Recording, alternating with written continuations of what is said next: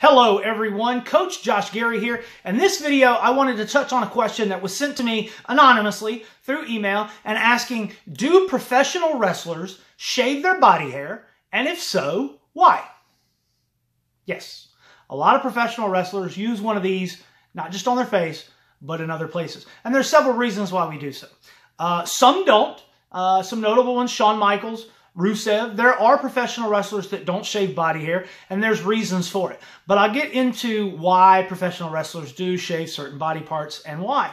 Uh, the main thing is, is if you're the body guy, if you are a guy that has a chiseled body and you've got cut and muscles and stuff, you want to show that off. And the best way to show that off is by shaving chest hair, shaving arm hair, shaving back hair, right? To really show off those muscles. Remember, we're professional wrestlers and we're like larger than life. We're not normal. It's almost godlike, right? And so you have to show that uh, essence and being clean cut and, and taking care of your body. And, and you're a professional, right? And you want to look that way. Uh, so the first reason that people shave their body hair is to show off the cut and the contour of the musculature that they have.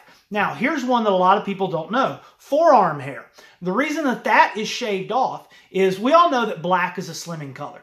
Well, not everybody has black hair. And you want to show off those striations in your forearms when you're doing headlocks and arm bars and things like that.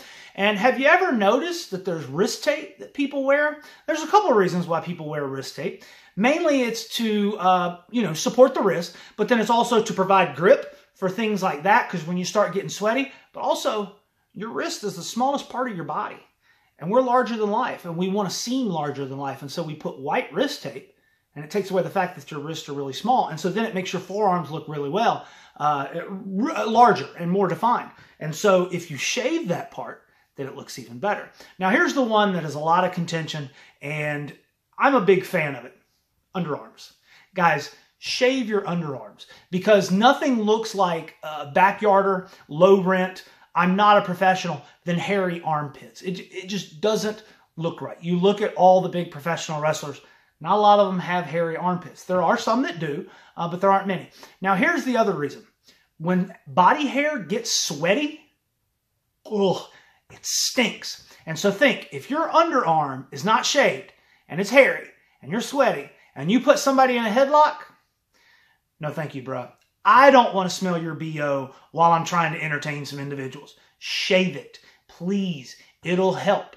Now, of course, obviously, uh, if you're wearing trunks, the the thighs, uh, you know, the lower buttocks and, and your hamstrings, you want to shave that because once again, it's going to show definition. It's going to make you look sleeker. It's going to make you look more powerful. Now, I am going to go ahead and tell you this now. There are tips and tricks on how to do it correctly. Uh, you've got to worry about uh, razor burn and stubble and bumps and things like that uh, take care of yourself. Look at some of these uh, skincare products, Dove and all these things, so the moisturizer, and take care of it because you want to look good as well. Professional wrestling is an aesthetic business. If you look like a professional wrestler, then people will take you seriously as a professional wrestler. If you look like Joe Schmo, who's just doing this on the weekends to get kicks, that's how you're going to be taking, uh, people are going to take you right? So you want to look like a professional, you want to act like a professional. And a part of that is you want to look nice outside of the ring, but you also want to look good inside of the ring. Nobody wants the hairy backs and, and things. Now you can do like shave designs into your chest hair if you want to, or kind of trim it up if it's a look that you're really wanting to, like Scott Hall uh, when he was Razor Ramon. If he had a shaved chest, the character wouldn't work, right? Rusev, the Bulgarian Brute, you just kind of, that's something that you imagine having chest hair. So if it works with the character and it works with your persona, I'm not saying that you have to shave body hair, but if you're wanting to be that prototypical professional wrestler with the cut, like this guy sitting back here behind me, and have that muscular and have it really pop and shine, go ahead and shave. Yes, it is a lot of upkeep, but anything worth doing is difficult. Once again, guys, if you got any more questions about where you shave and why and hints and tips, leave a comment below. And as always, you can send me messages on all the social media, links in the description. You can click over there to subscribe. And of course, you can click over there for any of the past videos that I've done.